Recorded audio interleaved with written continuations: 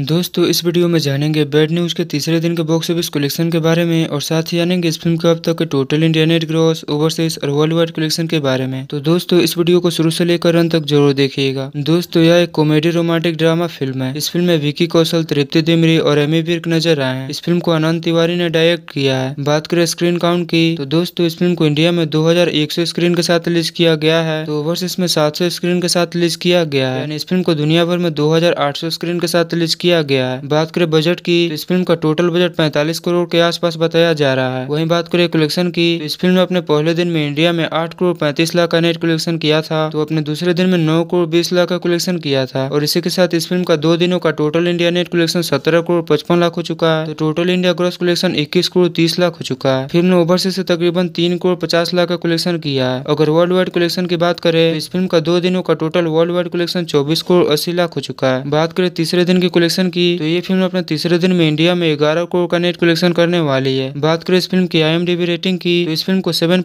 Rating मिले हैं।